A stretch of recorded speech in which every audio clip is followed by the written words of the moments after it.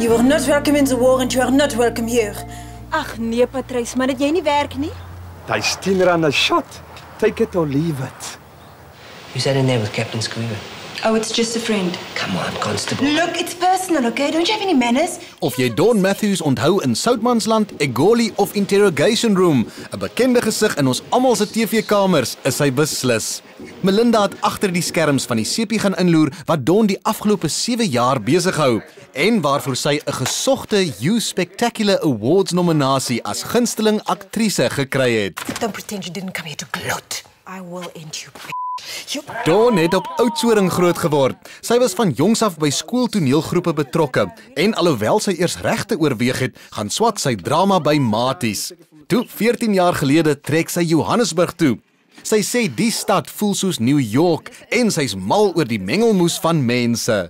Nou, as jy die hele dag lank so op die stel was, wat is die vinnigste manier hoe jy uit jou karakter uitkom as jy by die huis is? O, oh, sedert die geboorte van my dogter baie baie maklik. Sy is die hele tyd aan die skree, sy wil die hele tyd mamma se aandag hê, so daar's nie eens tyd om aan te dink vir my om om so half net te ontspan nie. En as jy een geheim van hierdie aktrise beroep van jou kan verklap, een geheim opstel, wat sal dit wees? Een van die maklikste maklikste maniere om deur jou dag te kom is pantoffels te werk die hele tyd. Ek bedoel dit help want dit is 'n lang dag en jou voete raak maar moeg, jong. Dit lyk verseker soos 'n wenk wat ek ook moet probeer. Oor na die meer persoonlike. Dawn en Charlie Sepayden is in 2008 getroud en hulle eerste kind is 2 jaar oud. Dis nou jou eie klein hoekie en is daai foto's van Jessie dan nou. Ja, dit is, dis my Nunu. Ehm um, dis 'n foto van haar is vars uit die oondheid, haar heel eerste foto. Ehm um, en dit was haar eerste amptelike fotosessie.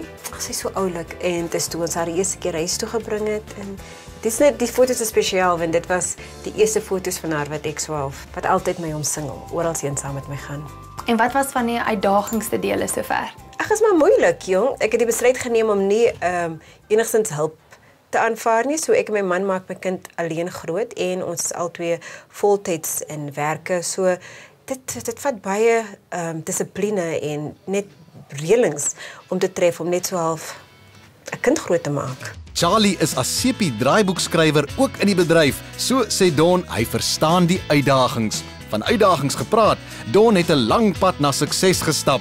Van 'n platlandse meisie wat by haar ouma en oupa groot geword het tot vandag 'n gerekende aktrise. So wat sê jy sê is die grootste deel van om in jou karakter in te kom? Is dit as jy die klere aantrek en die grimering moet doen of is dit maar eintlik iets wat met jou kop moet gebeur? Ah, seker 'n kombinasie van die twee. Dis net dit grimering en om in jou klere in te kom help absoluut daarmee want die klere is baie baie anders as wat jy as persoon is. En dan grimering ook. Ek bedoel ek is 'n persoon wat grimering of enigiets soos soos dit dra nie. So dis 'n manier van net so half in karakter kom. En dan ja, jy weet jy maak 'n spasie in jou kop en jy skuif alles wat nie daar hoort nie uit. Met ander woorde jou normale lewe en dan klim jy in jou karakter in. En as jy nou na jou karakter se klerekas moet kyk en jy moet vir Dawn iets uitkies, watter items sal jy sou uitkies?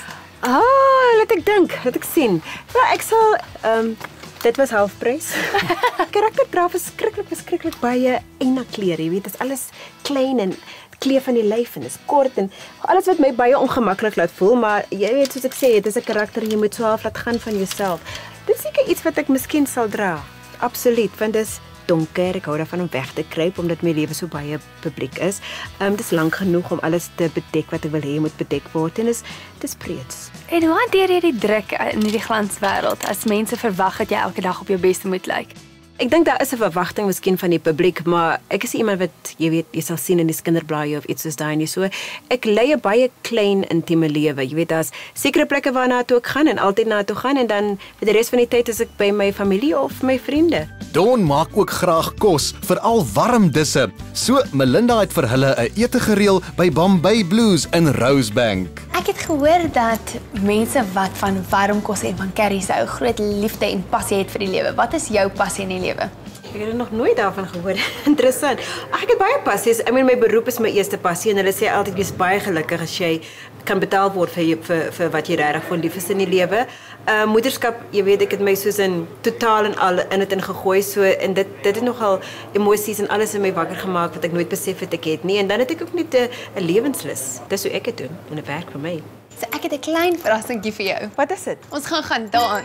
Dawn hou baie van musiek en yoga, maar die danspassies van Belly Dance Goddess is vir haar iets nuuts. Gelukkig lyk die kleine Jessie heel in haar noppies. Dawn, so wat is volgende vir jou? Watter persoonlike mylpaal het jy nog om self te behaal? Ag, oh, daar's so baie. Um, ek het uh, begin vir die jaar gaan ski in Aspen en dit was nogal vir my 'n groot mylpaal.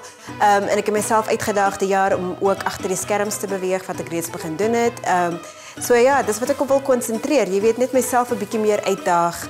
Um, ek kan nie swem nie, so dis ook iets wat ek wil doen. En dan wil sy nog graag eendag haar eie kookprogram aanbied.